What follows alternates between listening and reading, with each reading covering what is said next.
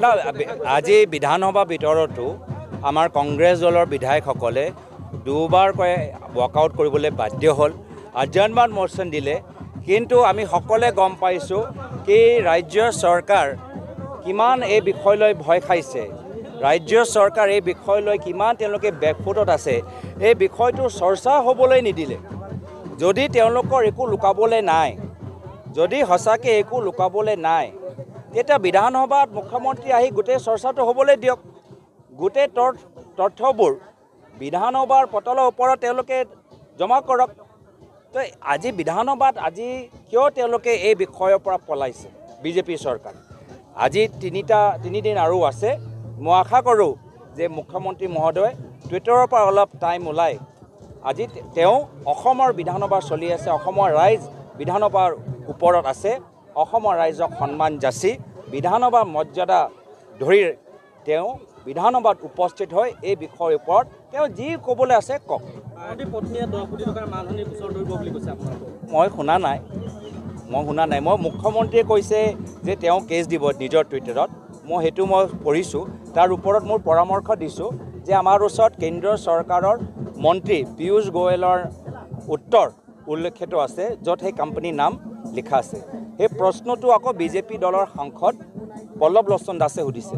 এই দুয়োগৰাকীক দুয়োগৰাকী পাৰ্টি কৰি দিয়ক এইখন কেছত। এতিয়া গোটেই তথ্যবোৰ ওলাব। মোক মোক কিয় ধৰিছে?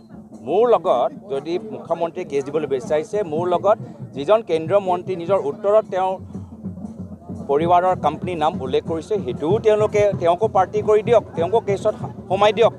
যিজন বিজেপি দলৰ সাংসদ যিজনে প্ৰশ্ন কৰি এই গোটেই তথ্যটো আমাক দিলে আমিতো কৃতজ্ঞ পল্লৱ লোচন দাসৰ প্ৰতি যে এনেকুৱা প্ৰশ্ন সুধিছে অসমৰ স্বাৰ্থত এনেকুৱা প্ৰশ্ন সুধিছে।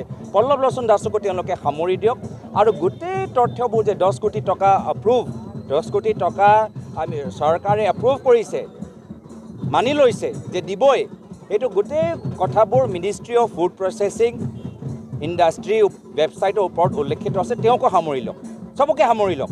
মিনিষ্ট্ৰীকো সামৰি লওক পীয়ুষ গোৱেলকো সামৰি লওক বিজেপি দলকো সামৰি লওক। কিন্তু এইবোৰ চব কথা কোৰ্টত কেতিয়া কেছবোৰ আহিব আমিতো নাজানো। কোৰ্টত কেতিয়া হেৰিং হ'ব কেতিয়া হ'ব কেতিয়া ডেট হ'ব আমিতো নাজানো। বিধানসভা এতিয়া চলি আছে গোটেই কথাটো এতিয়া আলোচনা কৰি শেষ কৰি দিয়ক। ইমান আৱেগিক ইমান তেওঁলোকে চিন্তা কৰিবলৈ কিয় আছে? কোৰ্টত কৈ এতিয়াই বিধানসভা চলি আছে কাইলৈ তেওঁ প্ৰস্তুত হওক গোটেই কথাটো কাইলৈ শেষ হৈ যাব। না আজি বিধানসভা ভিতৰতো আমাৰ কংগ্ৰেছ দলৰ বিধায়কসকলে দুবাৰকৈ ৱাকআউট কৰিবলৈ বাধ্য হ'ল। আৰ্জনমান মোচন দিলে কিন্তু আমি সকলোৱে গম পাইছোঁ কি ৰাজ্য চৰকাৰ কিমান এই বিষয়লৈ ভয় খাইছে। ৰাজ্য চৰকাৰ এই বিষয়লৈ কিমান তেওঁলোকে বেকফুটত আছে। এই বিষয়টো চৰ্চা হ'বলৈ নিদিলে। যদি তেওঁলোকৰ একো লুকাবলৈ নাই যদি সঁচাকৈ একো লুকাবলৈ নাই তেতিয়া বিধানসভাত মুখ্যমন্ত্ৰী আহি গোটেই চৰ্চাটো হ'বলৈ দিয়ক। গোটেই তথ্যবোৰ বিধানসভাৰ পটলৰ ওপৰত তেওঁলোকে জমা কৰক। তো আজি বিধানসভাত আজি কিয় তেওঁলোকে এই বিষয়ৰ পৰা পলাইছে বিজেপি চৰকাৰ? আজি তিনিটা তিনিদিন আৰু আছে।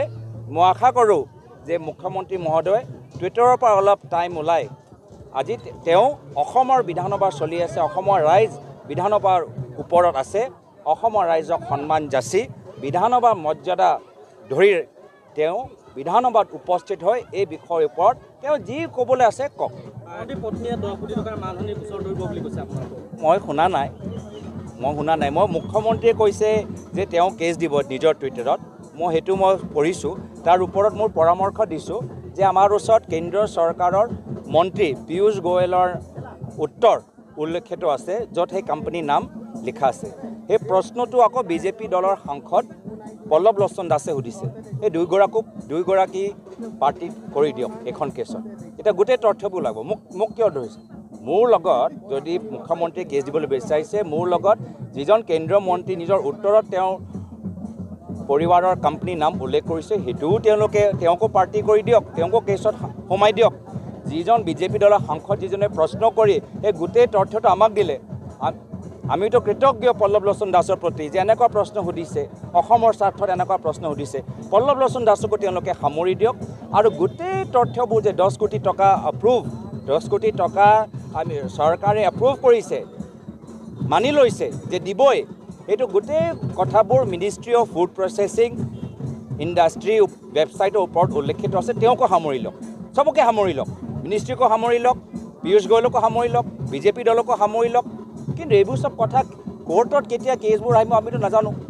কোৰ্টত কেতিয়া হেৰিং হ'ব কেতিয়া হ'ব কেতিয়া ডেট হ'ব আমিতো নাজানো। বিধানসভা এতিয়া চলি আছে গোটেই কথাটো এতিয়া আলোচনা কৰি শেষ কৰি দিয়ক। ইমান আৱেগিক ইমান তেওঁলোকে চিন্তা কৰিবলৈ কিয় আছে? কোৰ্টত কৈ এতিয়া বিধানসভা চলি আছে কাইলৈ তেওঁ প্ৰস্তুত হওক গোটেই কথাটো কাইলৈ শেষ হৈ যাব।